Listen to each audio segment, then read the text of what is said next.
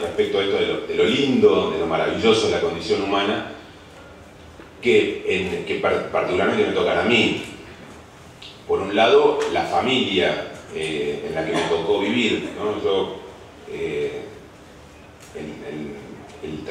el, destino, el destino, digamos, de, la, de los hermanos Mena Lancilotto, Maximiliano y yo, este, podría ser muy distinto. ¿no? Vos mencionabas cielo, historias, eh, historias que terminaron en tragedia este, mucho más profundas. Yo, me había anotado algunas de esas historias este, como para, para, tener idea de, de, cosas que pasaron, como eh, por ejemplo lo, lo, los hermanos Lanuscu, que de 4 y 5 años, cuyos cadáveres se encontraron, digamos, lo identificó el equipo de antropología eh, forense.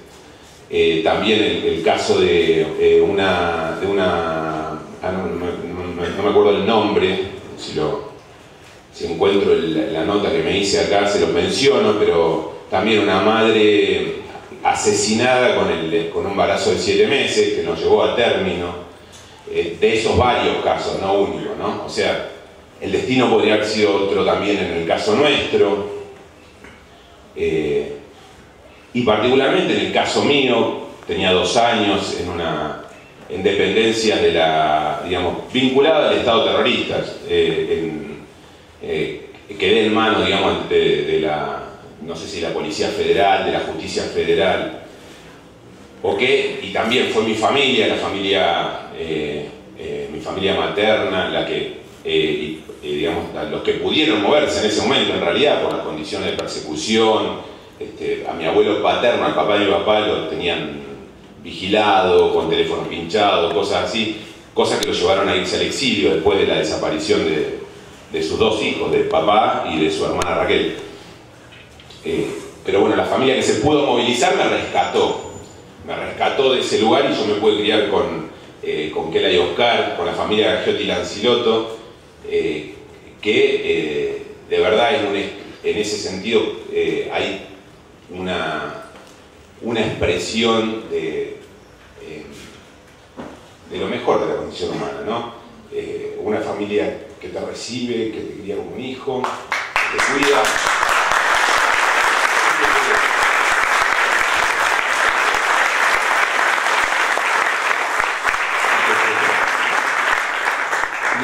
Crecer como eh, eh llevar digamos, tus potencialidades hasta donde vos más puedas, ¿no? En ese sentido, este, lo veo.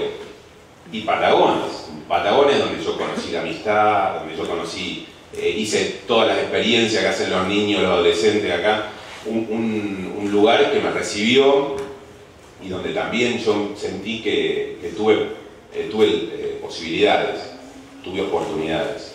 Eh, también fue en ese sentido eh, mi experiencia de amistad eh, bueno, con muchos de ustedes que están acá, mi experiencia de escuela, mi experiencia del Club Jorge Newbery, etcétera, etcétera. Una experiencia de, un pueblo que, en, donde yo me sentí en casa, ¿no? siempre en casa. Y eso también habla de, de, lo bueno, de lo lindo de la condición humana.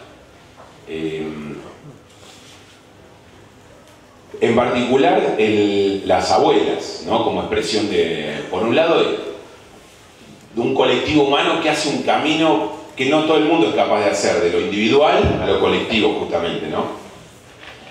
Mujeres, en, un, libro de, los que publicó Abuela, eh, leía que decía, mujeres con una vida hecha, decía, entre comillas, que de repente son expulsadas, digamos, de alguna manera de esa vida eh, por lo terrible que vivieron, por la situación eh, estremecedora que les toca vivir, y que salen a la calle en un tiempo de mucho miedo, en un tiempo de mucho, eh, digamos, en donde pocos se animaban a salir a la calle, y, y, empiezan a hacer cosas que verdaderamente hablan de, una, de, un, de, un, arrojo, de, una, de un coraje eh, que era hijo de un amor, digamos, era un coraje hijo de un amor, un amor por sus hijos y sus nietos.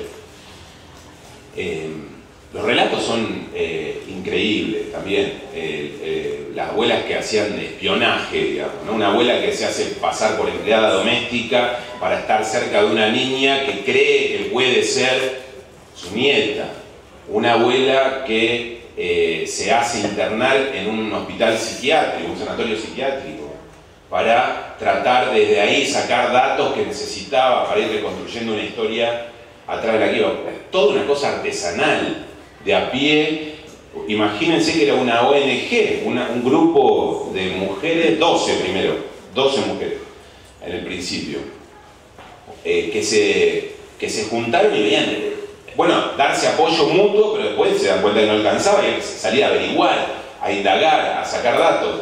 Y hacían estas cosas, ¿no? Por ahí hay una abuela que cuenta, que ve a, un, a, una, a una mujer con un bebé, percibe un indicio quizás sea mi la sigue, ¿no? Capaz que se toma un colectivo atrás de esa persona, siguiéndola vaya a saber hacia dónde, para después decir, no, estoy haciendo una locura, no, puede ser esta, puede ser cualquier otra, ¿no?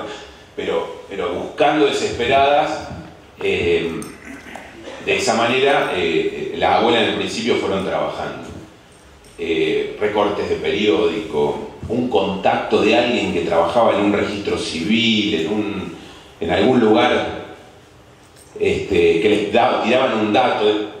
Después del Mundial del 78, gente se empieza a acercar a la Plaza de Mayo, donde las madres y la abuela hacían su ronda, y se acercaban con papelito, esto cuenta la abuela, con papelito diciendo, ¿alguna de ustedes abuela? Y le pasaban un papelito y le decían, mira, en tal lado hay una familia